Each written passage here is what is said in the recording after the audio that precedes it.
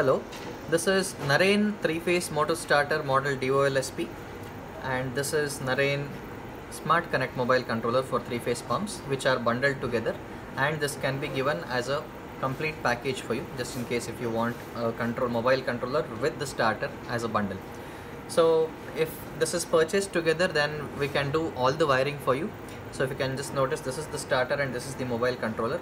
All the wiring which has to be done from the starter is uh, given uh, like this. So the wires the, the wires for the mobile controller is pre-wired from us. So these are all the wires which are coming out of the starter and the one which you can see on this side this is the wires coming out of the Smart Connect mobile controller. So this is the Smart Connect uh, mobile controller's wires and this is the starter wires. Everything is pre-wired. All you need to do is you just need to match the colors and connect it to the connectors provided.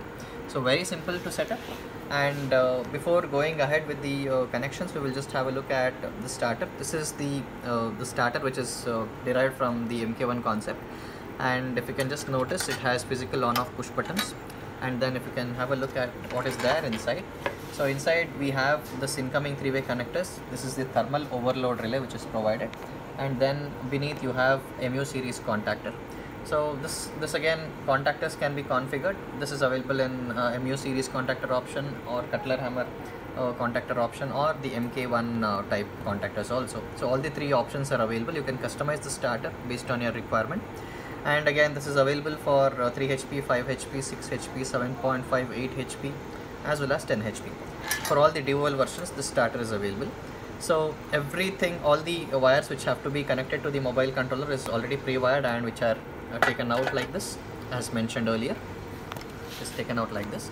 So once this is done then uh, uh, you will have to connect the CTs. So this is what we call as CTs so these are given along with the mobile controller as a package so there will be three CTs in the package. So if you can have a look at the starter this will be the incoming three-way connector and this will be the uh, motor cable points so the incoming three-way connectors uh, the three-phase supply will be given here.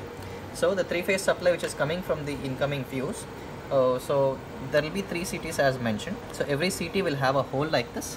So the wire which is coming uh, to the starter as incoming should pass through the hole of every CT. So three CTs should be given to three separate individual uh, lines. So every uh, wire will pass through this independent holes and go into the incoming of the starter like this. And there will be the wires, if you can just have a look at the CT, there will be wires coming out of the CT like this. So this wire should be connected to uh, these terminals here. So this is very easy. There will be three uh, sets of wires and three sets of terminals and this is the first one so there'll be uh, the connect terminal like this which is given along with the CTs all you need to do is you'll just have to press this. So if you can press this this will get locked. And this is the CT connections which you'll have to do. The first thing is matching the colors for the wires which are coming out. This is connect point number one. Then you have uh, the CTs which have to be uh, connected like this. Then uh, the next set of connection would be uh, the antenna. So this this will be the antenna provided along with the package. So this will be the antenna so there'll be the connector for the antenna. So you just have to uh, tighten the connector. This is the antenna point connector. You just have to tighten this.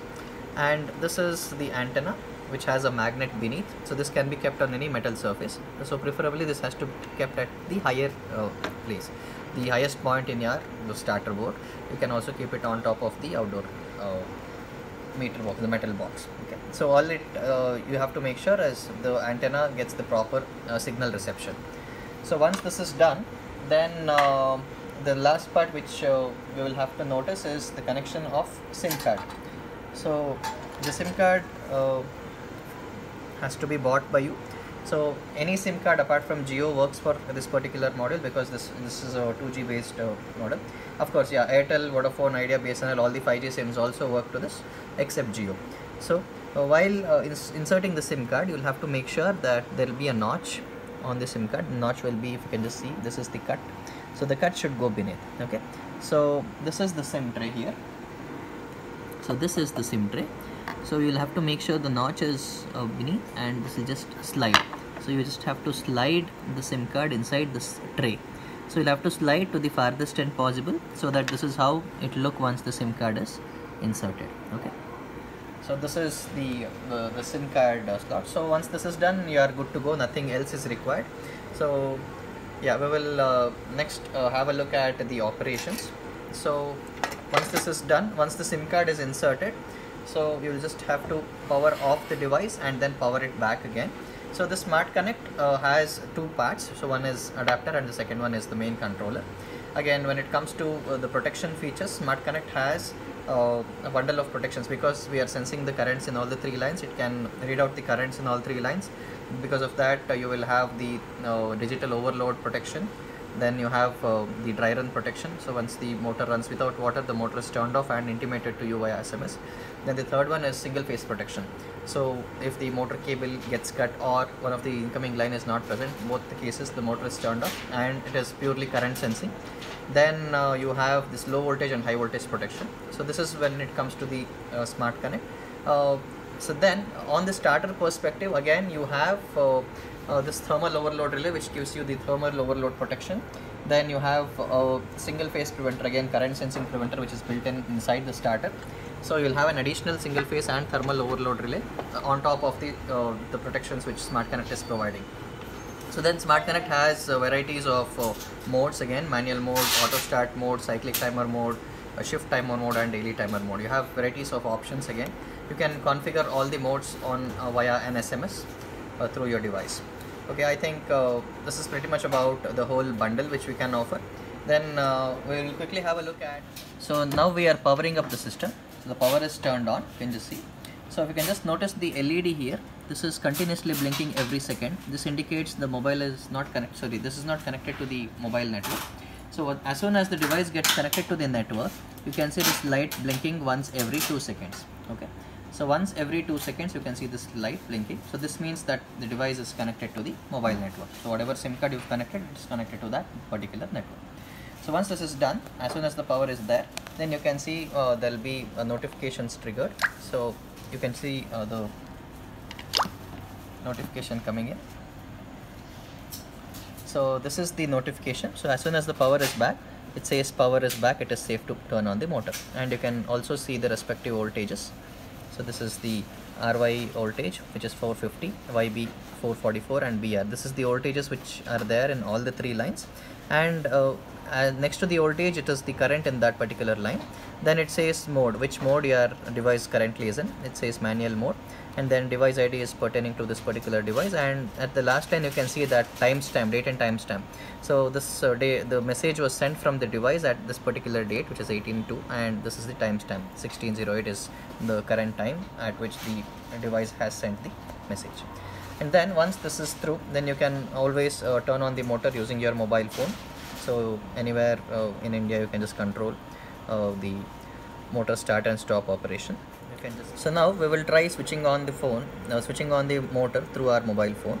So you just need to call the number which is there the sim card number through the registered mobile number.